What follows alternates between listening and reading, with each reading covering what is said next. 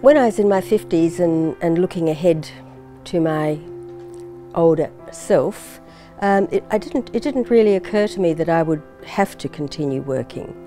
Um, fortunately, I very much enjoy what I do, but um, I couldn't have the lifestyle that I like to have if I was solely reliant on the age pension. It just simply wouldn't be possible. We still have a little mortgage to pay off. Um, I still worry about how we're going to be able to um, cover that with our super and pension. I think it was about 1992 when the superannuation guarantee came in, which was pretty well towards the end of my working life in Australia. So um, I don't have much in the way of super funds to fall back on. George and I have been married for 48 years. Um, we brought up our three children and this house is all family get-togethers, um, celebrating birthdays, anything. We just, you know, dinners, whatever. So yeah, we'll miss it if we had to leave. But we need a lot done to it. Yeah, especially now that uh, what happened to me, I had a, a stroke and uh, sort of, hmm. you know, I can't even climb a ladder anymore. I used to climb ladders and all that. Maybe with a bit of money extra, we get the extra money, I get somebody to do it.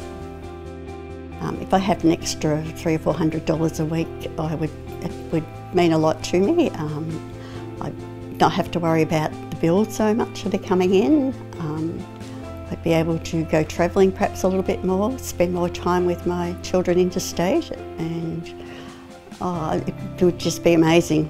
I'd, it would really make a difference. But I could see that having a little bit of extra income would be definitely an advantage because these days obviously fixed expenses keep going up um, and having a little bit of extra cash would certainly help in that regard to keep, you know, living the lifestyle that we're living.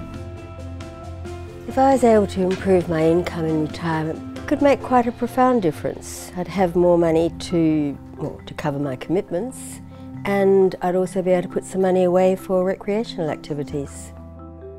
Been caring for George for quite a while now since he fell ill. So basically if we had to put George into a nursing home, it would be um, very, very sort of disturbing for us because we don't have the funds.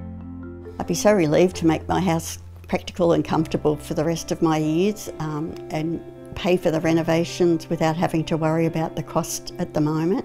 Um, it means my grandchildren and children could, you know, happily spend more time with me here um, until the end of my retirement.